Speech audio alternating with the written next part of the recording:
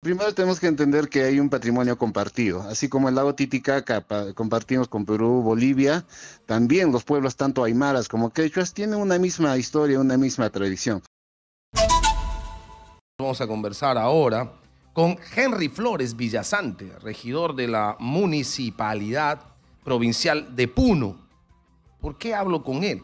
Bueno, Bolivia, no, no sé si como país, porque no creo que como país, ¿verdad? Me parece que es una organización está reclamando tres danzas folclóricas del Perú, o sea, como la Diablada y otros más, eh, como suyos, y está además pidiendo a UNESCO que nosotros en Perú no utilicemos esas danzas porque son suyas.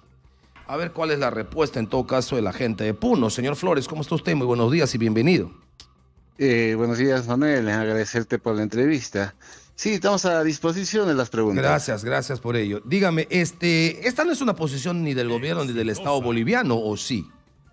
Sí, por lo que he podido apreciar, eh, esa es una asociación que se ha formado en defensa de folclore, pero no tiene que ver nada con el Estado, ¿no? Porque ellos lo que están indicando es que ante la inoperancia, ante la, no respuesta, ¿no? De las instituciones como el Ministerio de Culturas de Bolivia, ellos se están manifestando por los canales para poder hacer. Entonces esto no nos pone en entredicho, digamos, entre estados, ¿verdad? No es formal, como ha ocurrido en algunos casos, por ejemplo, en el caso de Chile, que nos ha llevado a tribunales para ver el tema si el pisco es peruano o el pisco es chileno, ¿no? Para que se mueran de vergüenza los chilenos, con las disculpas del caso. En este asunto no es un tema de Estado a Estado, no es un asunto de una organización. No es un tema de Estado, pero está, está tomando, digamos, bastante aceptación por parte de algunos grupos, en el caso de Bolivia. Como es lógico. Pero, pero también hay que entender que están en un proceso ya electoral en Bolivia, ¿no? Ya se va a llevar sus elecciones para Bueno, ¿y qué dice usted cuando los bolivianos señalan que las danzas típicas de hablada, la morenada y la llamerada, así es, ¿no? Eh, son, son, son, bolivianos y que Perú no tiene nada que hacer y que además no debería usar esas danzas para celebraciones y acontecimientos que lo hacemos en nuestro país. Bueno, primero tenemos que entender que hay un patrimonio compartido, así como el lago Titicaca compartimos con Perú, Bolivia, también los pueblos tanto aymaras como quechuas tienen una misma historia, una misma tradición. Lo lamentable es que como se ha dividido a partir de 1825, en este caso Bolivia, pues eh, lo que está buscando pues tener ciertas eh, originalidades. Pero sin embargo nosotros lo que defendemos es que hay un patrimonio compartido, tanto de Puno y también desde la zona de Oruro hasta Potosí. y, esa, y esa explicación cómo nos ayuda para delimitar si es boliviano o es peruano el asunto? ¿Qué, cómo, esa argumentación podría darnos la razón? Eh, primero, estas son danzas hispanas, ¿no? Que han sido introducidas bien temprano en la colonia y, mm. obviamente ha tenido su propio proceso evolutivo y el cual se ha vuelto parte de la entidad de las poblaciones, ¿no? Mm. Por ejemplo, el caso de la diablada no es igual la diablada tanto en Perú como en Bolivia. Y además también podemos mencionar que esta danza, tanto la diablada, también la encontramos en el Ecuador, en danza de diablos también en México, en Venezuela, ¿no? Entonces no vamos a hablar de un patrimonio, de una exclusividad, sino que una danza que lo han traído bien temprano y obviamente se ha difundido y en cada zona ha tomado su propia característica. no, no, no son nuestras entonces, y cuando digo nuestras ya no me refiero solo a Perú, sino a toda Latinoamérica. Esta es una zona que sea, este es un asunto que se importado de dónde? ¿De España? Eh, de España, sí. Ah, eh, obviamente como herramienta de catequización, ¿no? Y obviamente ahí está pues los autos sacramentales, están este, los siete pecados capitales, ¿no? Mm. Que vienen con la religión y al cual han sido difundidos en todo el Perú virreinal. Y me imagino que en el Perú virreinal, por supuesto, todo el virreinato era peruano, ¿no? Por supuesto, ¿no? Entonces, hay varios países no existían, para decirlo sin querer ofender a nadie. Por supuesto. Y obviamente los puntos de irradiación cultural tanto ha sido Lima como Cusco y de Cusco hasta Potosí. Mm. No es lo contrario, ¿no? Mm. Entonces podemos encontrar estas danzas en diferentes zonas, diferentes pueblos del altiplano. Pero mm. sin embargo, bueno, ellos están eh, buscando, pues, digamos, ciertas originalidades y tergiversando la historia. Hay un asunto de cuestión de origen que se discute siempre entre manifestaciones culturales y otras cosas que, por supuesto, eh, tratan de potenciar mecanismos de turismo. O sea, ¿usted cree que finalmente lo que debería determinarse desde la UNESCO es que este es un asunto de patrimonio compartido? Definitivamente, es un patrimonio compartido. Nosotros tenemos las fuentes, las evidencias para poder sustentarlo y que vamos a hacer llegar respectivamente a la UNESCO. Ahora, cuando dice que viene desde el virreinato eh, y, y, en todo caso viene desde España, entonces se introdujo a través de Lima, ¿no?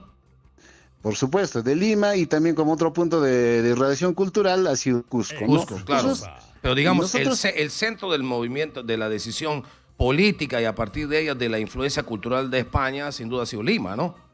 Lima y también Cusco, ¿no? Mm. En, esa época bien temprana en la colonia, ¿no? Ok. Y el cual pues tenemos evidencias nosotros de 1612, ¿no? En el caso de Ludovico Bertone, un padre de, de acá de la provincia de Juli, Mm. quien registra, ¿no? Dis- de- disfrazarse de ángel, demonio, ¿no? Para las danzas. Entonces, eh, contamos con evidencias necesarias, con fuentes que sustentan también nuestra declaratoria de patrimonio ¿Qué, cultural. qué, qué respuesta van a dar desde Puno? Bueno, el día de hoy a las 11 estamos haciendo una conferencia de prensa donde están acompañando historiadores y Mm. también mi persona como antropólogo y para sustentar con las evidencias necesarias para hacer el desmentido. También estamos pergeñando eh, enviar un documento a la UNESCO con todas las aclaraciones necesarias ante la remetida pues que tenemos por parte de esta asociación. ¿Y eso cuándo debe ser? Hoy la reunión, más o menos, ¿para cuándo se calcula que podría darse esta respuesta? Sí, nosotros para la siguiente semana ya tenemos el expediente, eh, digamos en el caso de Bolivia, ¿no? Su, su ficha de inscripción, el cual también está con muchos datos del Perú y sobre todo de Puno, ¿no? Lo que sustentan su festividad del Carnaval de Oruro. Ok, ¿tienen ustedes en todo este asunto algún tipo de respaldo del Estado, desde el gobierno regional, municipalidades, gobierno central, Ministerio de Cultura? ¿El Ministerio de Cultura tiene algún papel en este tema? Sí, por supuesto. Nosotros, eh, a razón de la declaratoria ante la UNESCO, hay un comité de salvaguardia donde está el gobierno regional, está el Ministerio de Cultura, el municipio de Puno y otras instituciones que tienen que ver con el aspecto cultural de Puno, ¿no? Entonces, nosotros estamos unidos y también se va a hacer los alcances necesarios ante las instancias, eh, digamos, de carácter internacional, Ya, pero- como la pero ¿quién- UNESCO. ¿quién, quién oficial y formalmente va a responder? ¿El municipio, el gobierno regional, el Ministerio de el Cultura? comité de salvaguardia que está, estamos ocho instituciones, ¿no? Tanto el gobierno regional, municipal y también de, de parte del gobierno central. ¿Cómo se llama el comité qué? Comité de salvaguardia de la festividad Virgen de la Candelaria. Ok, usted habló de una arremetida de esas asociaciones y se refiere, por supuesto, a esta organización boliviana de defensa y difusión del folclore. Eh, ¿cree, ¿Cree usted que tiene un objetivo político? ¿Cuál sería la razón? ¿O es un tema que realmente quieren que haya un reconocimiento a su ancestro cultural los bolivianos? Bueno, este, ellos están en época preelectoral y obviamente están buscando de repente ciertos apetitos, ¿no? Eh, políticos, figuretismo, ¿no?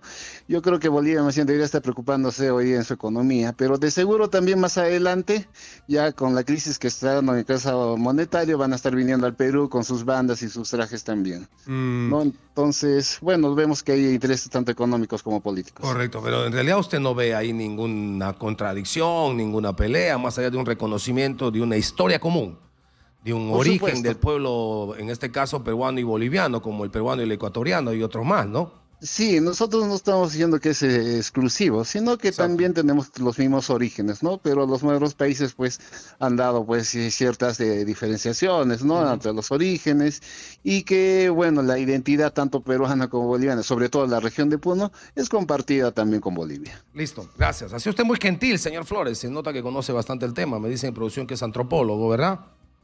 Sí, Ok, sí, Manuel, sí, correcto. soy antropólogo. Hace usted muy gentil. Henry Flores Villasante, regidor de la Municipalidad Provincial de Puno y antropólogo y conocedor de este tema, de esta materia, que junto a un comité van a dar respuestas a las aspiraciones y pretensiones de esta organización boliviana. No toquen la diablada, la morenada y la llamerada, es nuestra.